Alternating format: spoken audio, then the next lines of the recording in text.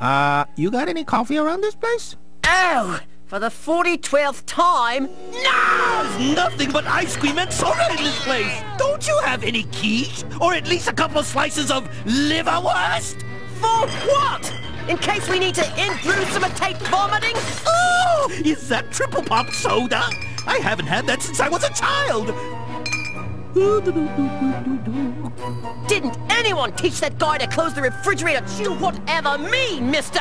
This is my treehouse, and while you're here, you'll do what... Blah, blah, blah. I can't hear you. Blah, blah, blah. You come man, back here right now!